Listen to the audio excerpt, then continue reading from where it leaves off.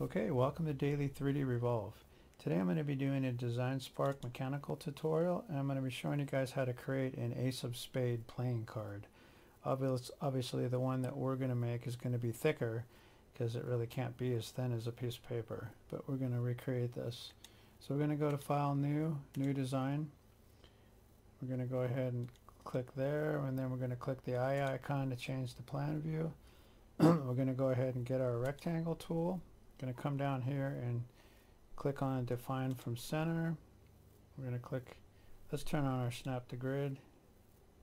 We'll click and drag out. It's going to be 2.5 then tab by 3.5. Okay, that's going to be our base playing card. Now we're going to round the corners, so we're going to go ahead and get the create corner rounder.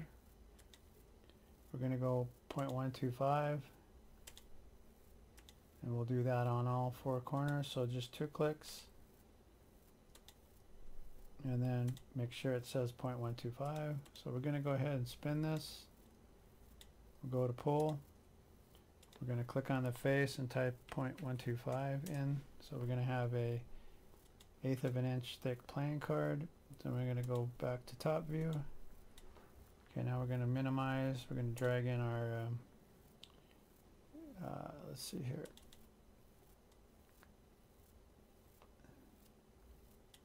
think I threw out the ace of spades playing card. Okay, I'm going to have to go get it back. Alright, let's go right mouse click, save image, save it on the desktop. Okay, we'll go ahead and close that. Now we'll drag this in.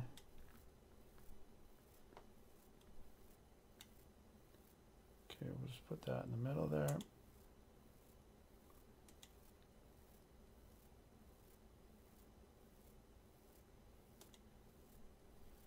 Okay, let's get rid of those. You have two of them, so let's go ahead and scale this. So we'll just click on this, scale up. Let's full size this. Let's make it a little bit smaller.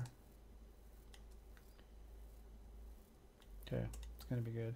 So first thing we're going to start with is our little spade shape. We're going to turn off the snaps. We're going to, we're going to click there. We're going to click on the top. We're going to draw a line 1.8 1.877 inches long.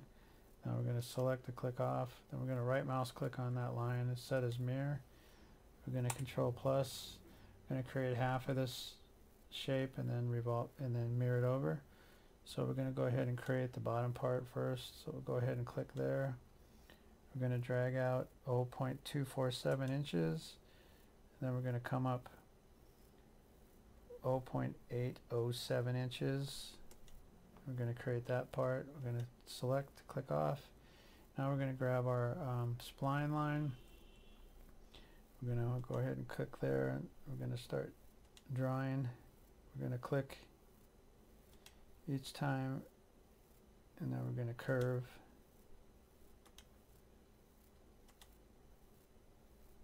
Just try to get it as close as you can. These uh, spline lines are adjustable. And then we're going to go double click there to end it.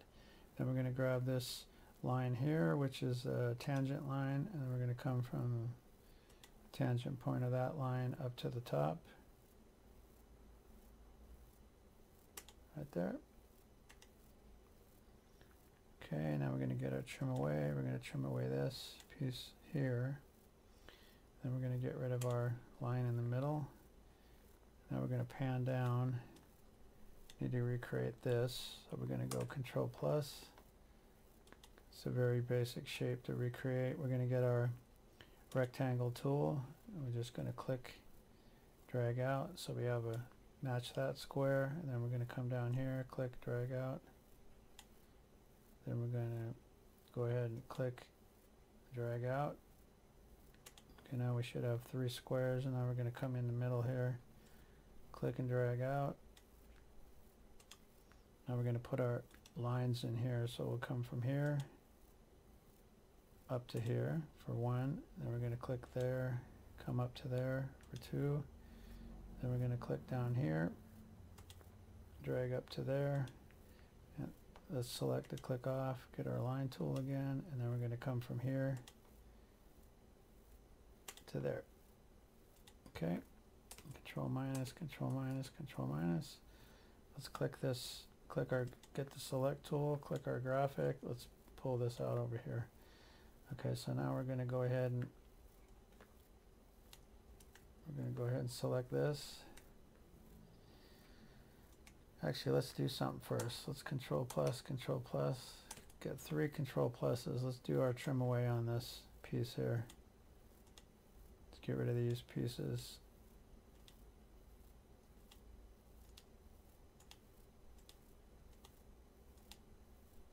Okay, now we have our A. Control minus, let's pan. Okay, that shape don't look too bad, except the only thing I'm going to do to it is put a little fillet in here. So you click here, 0.013. Do the same over here, 0.013. Okay, that looks better. Now we're going to go ahead and control minus. We're going to select this, drag in a marquee around it. We're going to fill it. And then we're going to copy this, control C, control V. Now we're going to grab our move tool. Let's get that out of the way. Grab the green, grab the red. Now we're going to come over here to pull. We're going to click on this one here, which is scale. And we're going to click that point there, and then we're going to click and drag down. And we want something close to the shape size of the A, which is right about there, 0.16 I believe it was. Okay, now we're going to click on it, we're going to move it, grab the red arrow, move it up, green arrow, move it down, and the red arrow, move it up, green, move it up a little bit, and then the red, move it till it's underneath the A. Okay, that looks pretty good. Now we're going to go ahead and select that. Control C, Control V. We're going to drag our copy out here. We want to rotate this one around 180 degrees. So right there. Then we're going to drag it into shape position there.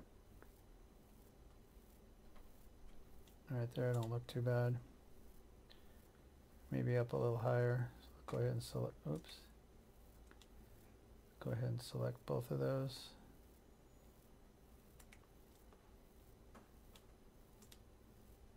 Hmm.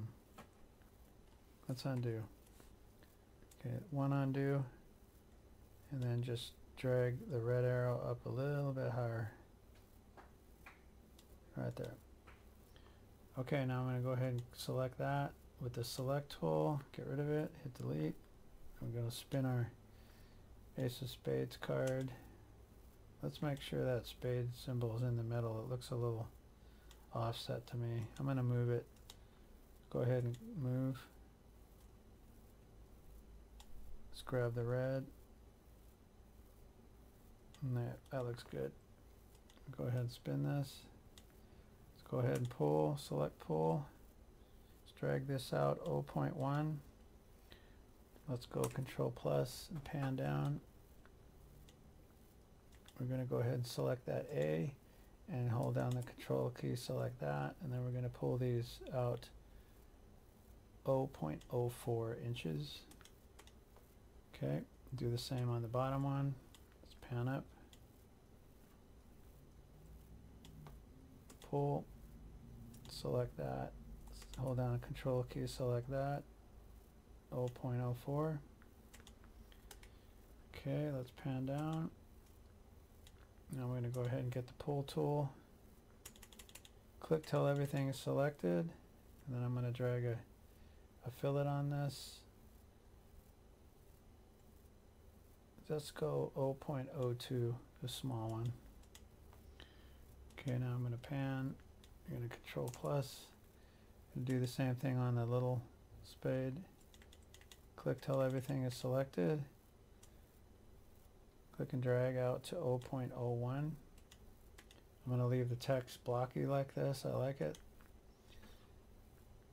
Oh, I grabbed spin. I meant to grab pan. Sorry about that. We're going to pan up. And then we're going to do the same thing to that shape there. Click till everything is selected.